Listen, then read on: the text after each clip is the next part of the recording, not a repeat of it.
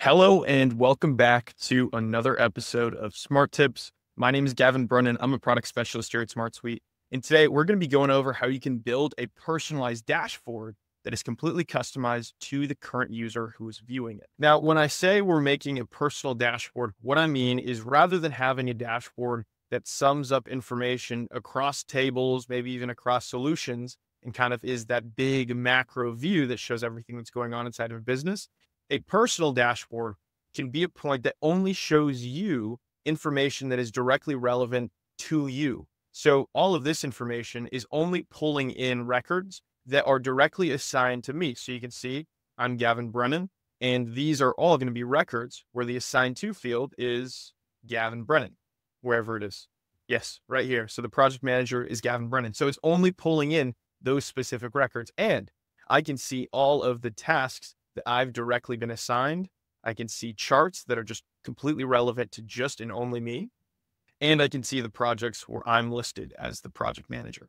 Now, SmartSuite is able to go and track this stuff because of our assigned to field. So if you're not familiar with the assigned to field, I'm going to leave a link in the description. But essentially, it's just like any other field type, except the values that you put into the field are the current users within your workspace. In fact, whenever you create a new table from scratch, the assigned to is going to be a field that automatically just exists there. So a lot of the times you don't have to go and recreate it, but you can go and make a new one uh, the same way you'd make any other field. You just type in assigned to and you go click on it. So once you have an assigned to field that's already set up and filled in in all of the tables that you want to sum up in the personal dashboard, then we can go ahead and start creating a dashboard. So just as a reminder, a dashboard can exist within any table within a solution, even outside of that solution, and still be able to sum up the data. So even though this looks like it's a view within projects, it can still sum up task data, deliverables data, daily stand up data, all of that, all from one place. Now, when it comes to actually setting up the dashboard, I'll leave a link in the description to show the best practices, how we internally design dashboards inside of SmartSuite but you can really make these metrics whatever you want. So here I have our summary cards that essentially are summing up, okay, here are all my projects, my tasks, my deliverables, and the upcoming meetings.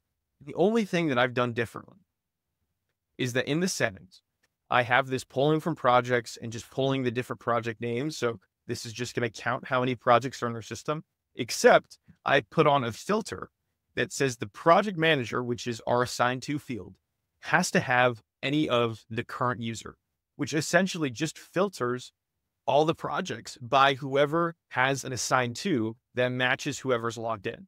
So essentially, because I'm Gavin Brennen and I'm logged in as Gavin Brennen, this my project summary card is going to pull in all of the projects where I'm the project manager. So you can see um, I'm here for Website 2.0, Gamma Product Management, Smart Suite for Marketing Sales, and Willow Tech. And I can go click on this and I'll see the same stuff. So that's the big secret. All that I'm doing is putting on a filter that says, hey, is the assigned to the current user? If so, let's show it. So I have a grid view that's just doing the same thing. So this is a grid view for the tasks table that I've titled my tasks. I've hid, as you can see here, we have these four check boxes. The second one shows the report toolbar where you can go and select filters, sorts, groups, etc. I just go and I filter this where I say the owner or the assigned to has any of the current user. And then I go and hide this. And now it just shows all of my tasks and they're all filtered by the ones where I'm the assigned to. Same thing down here with the charts. All it is is a filter that's smacked on there that says the assigned to is the current user. And it's not overly complicated. It's it's essentially just a filter that might not be used enough, but can allow you to go and create a dashboard where each person on your team is able to consume information that is directly relevant to them. It's a really simple episode. Again, I'm just showing you guys how to use this filter, but I know that there's a lot of use cases out there for stuff like this, whether it's marketing agencies, sales teams, whatever it might be. There is a reason that you'd want to see information that's only relevant to you. So if you guys enjoyed this, if you find any use cases for this, let me know in the comments down below. And until next week, keep on enjoying SmartSuite.